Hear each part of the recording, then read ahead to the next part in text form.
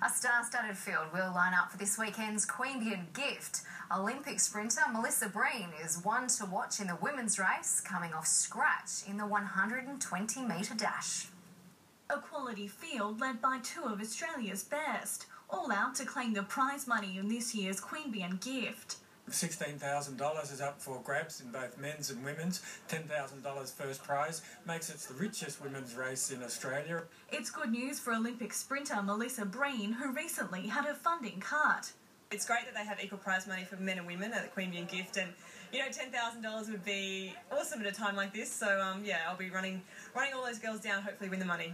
Breen heads into the prestigious event as favourite, running off scratch.